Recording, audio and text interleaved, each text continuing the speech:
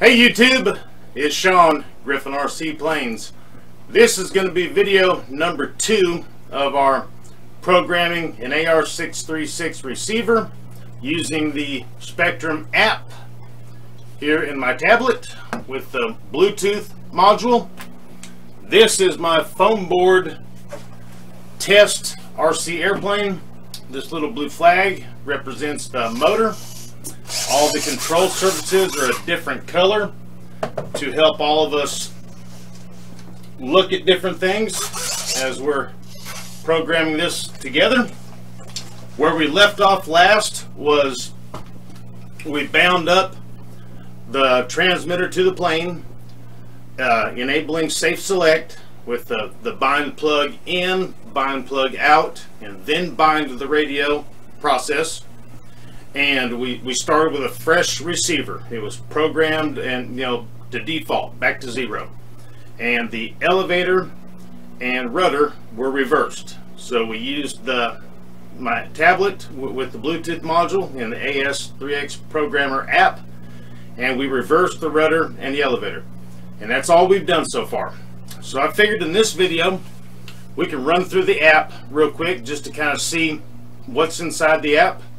And then we'll start with uh, the control surfaces and we'll set each of them up in the app.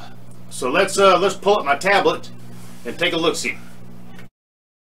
Let's um, I'm gonna power down the plane and we're gonna connect the Bluetooth module to it and get it connected to the to the tablet here. So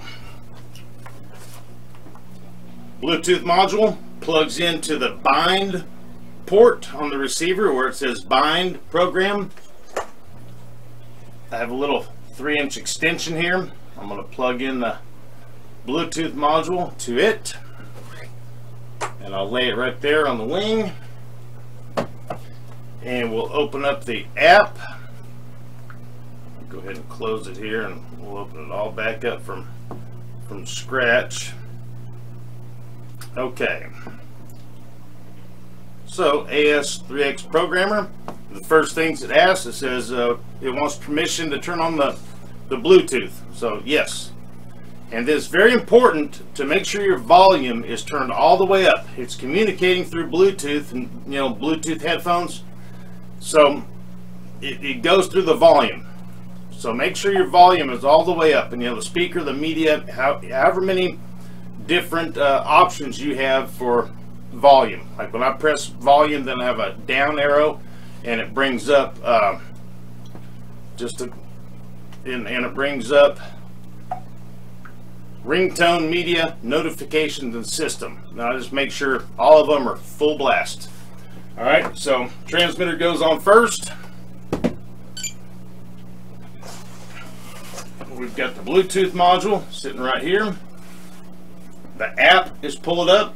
I'm going to power the plane. We'll let it get bound.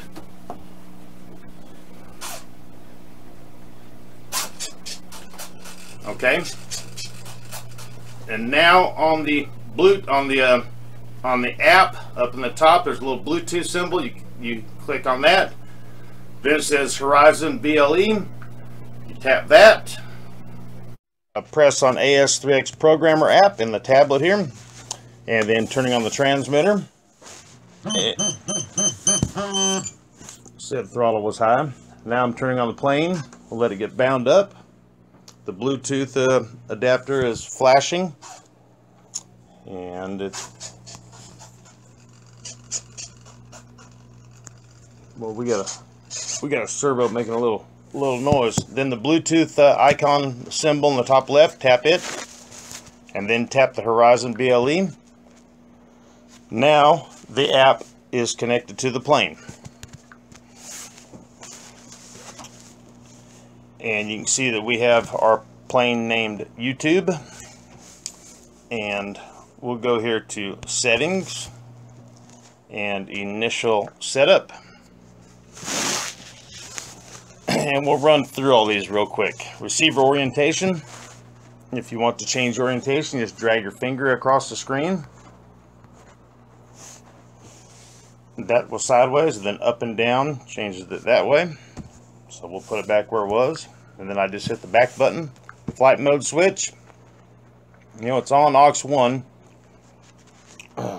If it was on unassigned, that is where you need, um, if you ever got a bind and fly and you need to teach the receiver that you want to use your gear channel to turn safe on and off, and you pull both sticks together and you flip the switch back and forth, that will take it from unassigned to gear.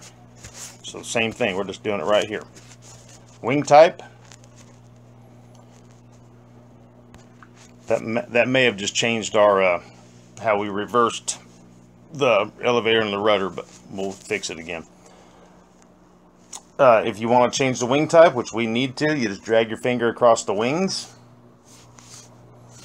There's normal, that's what we need. And there's many different settings. Alright, so we'll put that back to normal. And then the same with the tail, you just drag your finger across the bottom. Many different choices there, so we'll leave that as normal. Now I'm at the back button. Make sure our transmitter says normal. And then we'll go to surface setup. And we let's see if we need to change the uh, elevator and the rudder. Yeah, we need to reverse the the elevator. Hitting back. Oops. Surface setup. We're going to tap on the rudder down here. Change that back to reverse. Look. And here's the the wings. Now this is where you can the travel. We're going to set the travel when we figure out how far we need to, you know, change change our rates. So we don't have to change the servo travel in the transmitter. We can change it here in the app to, you know, if we need our elevator servo to only go 85% of its max, we can do that here in travel and still leave our transmitter at 100. So we'll go through all that too. Hitting back button, back button, fail safe. So we can change it to hold last position or preset. And preset is however you're holding your sticks when you power it on. We can talk about that too. And port assignment. Right now it's set up in the in the standard default. You know, two for ailerons, three for elevator, four for rudder, you know, one for throttle. But if you want to change it for whatever reason, like I'll tap on the ailerons, and whatever's in red is what we have available right now so you could we could change it I'm hitting the back button um, the wizard is what we're going to follow when we do this uh, whole setup. You know here is the name. In the top right hand corner see the arrow going to the next page? The next page is receiver orientation. The page after that is flight mode channels. After that's the wings. So we'll go through all that here shortly. So we have our plane bound up to the transmitter and we're connected to the AS3X programmer app. And we're going to go through the wizard. And the third step in the wizard is control surfaces. And for right now we'll just do the ailerons to show how we can adjust the travel in the app where we can leave the transmitter servo uh, travels still at their default you know they haven't been touched. You know that way the gyro in the receiver and the and the AS3X and the safe all those adjustments are in the receiver. We're not limiting anything in the transmitter. You know, if we program the receiver that we need the ailerons to move 70% of the travel, you know, then we then we make that, you know, the program then the AS3X and the Safe Select is going to think that 70% is 100%. So we're, we're not limiting it. You know, when you start changing your dual rates in your in your transmitter and your travel adjustment in the transmitter, not the receiver, then the receiver's going to try to use you know 100% of its ability to give you stabilization and the safe but your transmitter is holding it back, if that makes sense. So you want to change the travels in the receiver when all possible. So right now, I'm going to connect to the app and we're going to go in the wizard here and the very first thing is how we named it YouTube. And then in the top right there's the arrow. And I'll show you guys this on the screen too. And the next step is receiver orientation which we already have it. Pins to the rear and the uh, the Spektrum symbols facing up just like it is on the app. And the next arrow over is the flight mode channel. We'll leave it on gear so we'll use our our uh, fifth channel the gear switch channel 5 to turn safe select on and off which will be changing our flight mode from 1 to 2 the next arrow over is our wing and tail configuration. We're going to leave it as normal which that's what we have is a normal setup. Two receivers in the wing, but they're using a Y harness, so it's only one channel. So that's, you know, one one servo for the wing, even though there's only two. It's only one channel. And one for the elevator and one for the rudder. The next arrow over, surface setup. Now this is where we reversed the elevator. You can see that it's reversed. And then we reversed the uh, rudder also. Sorry, I hit the wrong button here. There's where we reversed the rudder. And the ailerons are normal. Now, right here, I have in blue marked 70% of the ailerons travel, and I have 100% marked. On the transmitter here, you can see that the aileron, the red aileron goes up to 100% of its travel. Everything is default in the transmitter and default in the receiver. So let's change the travel of the aileron to 70% in the app, not the transmitter. So I'm going to touch travel and then you drag your finger in the center but if you want the directions on how to change that you hit the question mark and it says if we're you know adjusting both of them which we are because we only have one uh, a Y harness one channel controlling both of them you drag your finger in the center just like so. So we're just going to bring it down. It was at 100 we're going to bring it down to 70 and is a little touchy. When I get quiet I'm thinking. And then there's 70 so then I'm just going to hit the back button to get out of it. Now, when we move the transmitter stick to full deflection of the aileron, it will go to 70 now, not to 100. Okay, I've been noticing that the app will time out if you're not using it. Uh, you know, if, if it's sitting dormant for a minute, it'll disconnect. So, the red line is 100% of the travel.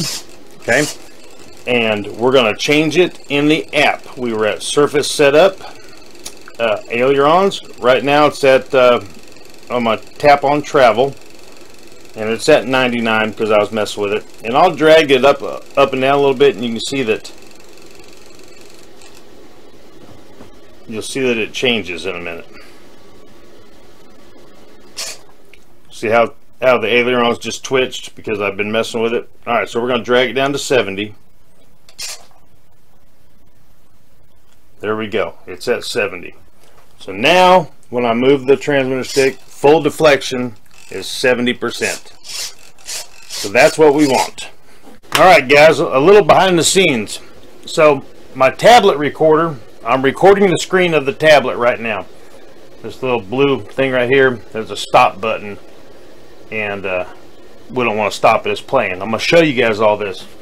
But when I go to surface setup and ailerons and we're going to do the travel again and then you drag your finger up and down here as soon as I touch in that in that black box then my screen recorder only shows my finger. It doesn't show anything else. So right now I'm gonna I'm gonna drag it down, right?